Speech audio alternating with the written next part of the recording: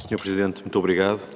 Eh, uma primeira nota prévia que faço questão de fazer em nome da bancada do PS. Esta é uma audição sobre o Programa de Estabilidade. É um importante documento estratégico. Infelizmente, em alguns momentos, mais pareceu uma câmara de eco de outras comissões, mas eu, em qualquer caso, gostaria de saudar as respostas que o Sr. Ministro das Finanças, uma vez mais, não se, não se escusou a dar, até porque queria também saudar as perguntas, porque elas permitiram efetivos esclarecimentos, mas ainda assim dizer à oposição que claramente falhou no sítio das perguntas, um bocadinho como têm falhado nas avaliações e previsões que vão fazendo. E isto leva-me à segunda nota que gostaria de fazer uh, sobre o maior facto político desta audição, que foi uh, o elogio o elogio que o maior partido da oposição trouxe a esta audição. Uh, esperava críticas a este programa de estabilidade, alternativas a este programa de estabilidade, mas na verdade o que foi aqui dito foi, afinal, que segundo o PSD, nada de novo e isto é de facto um facto político, porque são, são boas notícias, nada a ver de novo, como foi aqui referido. Crescimento económico, crescimento económico acima da zona euro, exportações a crescer e a sustentar este crescimento.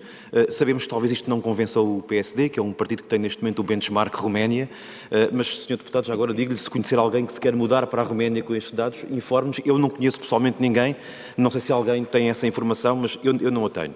Mas são de facto boas notícias que foram aqui trazidas, porque, e de facto nada de novo.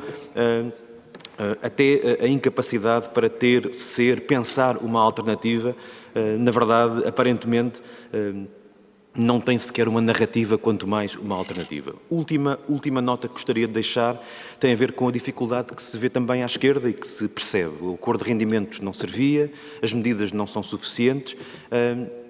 O aumento da massa salarial, eh, que está acima dos 6% no caso da função pública, aparentemente também não é suficiente. Eh, o aumento do rendimento dos pensionistas, só com o aumento das pensões e apoios extraordinários, entre os 11% e os 12%, também não será eh, suficiente.